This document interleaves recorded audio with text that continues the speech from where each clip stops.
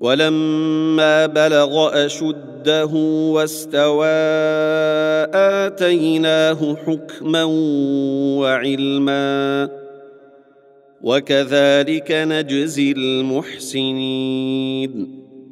ودخل المدينة على حين غفلة من أهلها فوجد فيها رجلين.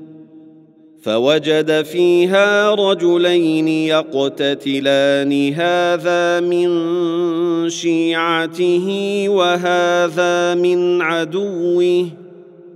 فاستغاثه الذي من شيعته على الذي من عدوه فوكزه موسى فقضى عليه. قال هذا من عمل الشيطان. إنه عدو مضل مبين. قال رب إني ظلمت نفسي فاغفر لي فغفر له.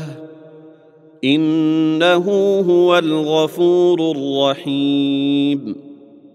قال رب بما أنعمت علي فلن أكون ظهيرا للمجرمين. فأصبح في المدينة خائفا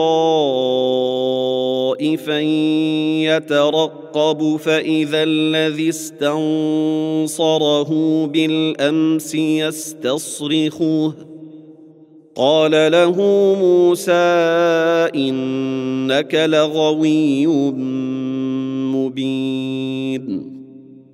فلما أن أراد أن يبطش بالذي هو عدو لهما قال قال يا موسى أتريد أن تقتلني كما قتلت نفسا بالأمس؟ إن تريد إلا أن تكون جبارا في الأرض وما تريد أن تكون من المصلحين. وجاء رجل من أقصى المدينة يسعى قال يا موسى قال يا موسى إن الملأ يأتمرون بك ليقتلوك فاخرج إني لك من الناصحين. فخرج منها خائفا يترقب. قال رب نجني من القوم الظالمين.